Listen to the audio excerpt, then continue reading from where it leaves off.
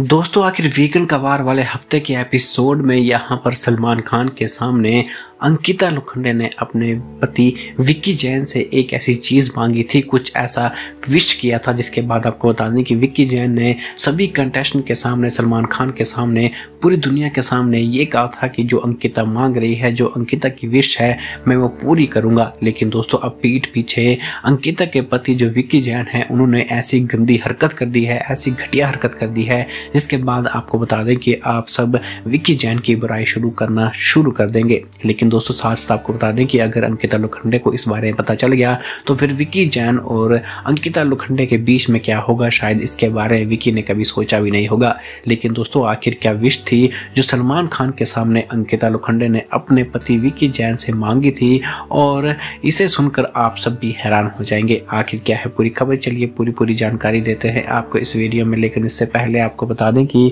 Big boss seventeen से जुड़ी हुई हर लेटेस्ट और बड़ी से बड़ी अपडेट्स के लिए हमारे चैनल को ज़रूर सब्सक्राइब सब्सक्राइब करें। जी हाँ दोस्तों, दरअसल आपको बता दें कि जैसे ही इस हफ़्ते का वीकेंड कमार वाला एपिसोड शुरू हुआ तो सलमान खान ने यहाँ पर सभी घर वालों के सामने एक टास्क करवाया और आपको बता दें कि जैसे ही कंटेस्टेंट लिविंग एरिया में आए तो बारी बारी से इस टास्क को कंटेस्टेंट परफॉर्म करने लगे। लेकिन बारी आई जब यहाँ पर घर की कंटेस्टेंट अंकिता लोखंडे की तो अंकिता लोखंडे की जैसे ही बारी आई तो सलमान खान ने अंकिता से ये पूछा कि अंकिता, इस घर में ऐसा कौन सा कंडक्शन है जिसकी तुम शक्ल भी देखना पसंद नहीं करते हो? जिसके बाद यहाँ पर अंकिता लोखंडे ने यह कहा कि, सर, अगर आप मुझसे ये सवाल पूछ रहे हो तो इस टास्क को परफॉर्म करते हुए मैं आपसे ये कहना चाहती हूँ कि घर की सदस्य जो सना रईस खान है, मुझे उसकी शक्ल बिल्कुल भी पसंद नहीं है, क्योंकि वो हमेशा मेरे पति के पीछे पड़ी रहती है। वो हमेशा हम दोनों के बीच में आती है और उसे इतनी भी तमीज़ नहीं है कि किसी कपल के बीच में इस तरह से नहीं आना चाहिए, जिस तरह से वो दखल देती है। इतना नहीं यहाँ पर अंकिता लोखंडे ने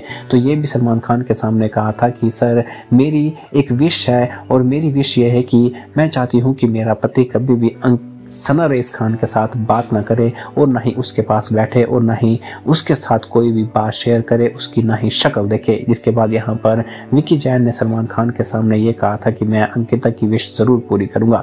लेकिन अब इसी बीच आपको बता दें कि एक बहुत बड़ा खुलासा हो चुका है। दरअसल यहाँ पर जैसे ही विक्रम कवार वाला हफ़्ते का एपिसोड खत्म हुआ तो यहाँ जहाँ एक तरफ़ आपको बता दें कि अंकिता लोखंडे पूल के पास बैठकर अकेली सभी घर वालों से ये बात शेयर कर रही थी। अपने दिल की बात शेयर कर रही थी कि वो काफ़ी ज़्यादा स्ट्रॉन्ग तब होती है जब वो अपने पति विकी के साथ होती है। लेकिन अब आपको बता दें कि यहाँ पर पीठ पीछे सना रेस खान के साथ अंकिता लोखंडे का पति विकी बात करता हुआ दिखाई दिया। विकी सारी सारी बातें, अपने दिल की बातें सना रेस खान के साथ शेयर कर रहा है और अब आपको बता दें कि इसके बारे में अंकिता लोखंडे को बिल्कुल भी पता नहीं है। फ़िलहाल इस में इतना ही डाल दोस्तों, आपको क्या लगता है कि यहाँ पर अंकिता सही है या फिर विकी आप हमारे कमेंट बॉक्स में लिखें और बिग बॉस सेवेंटी से जुड़ी हर बड़ी खबर के लिए हमारे चैनल को ज़रूर सब्सक्राइब करें।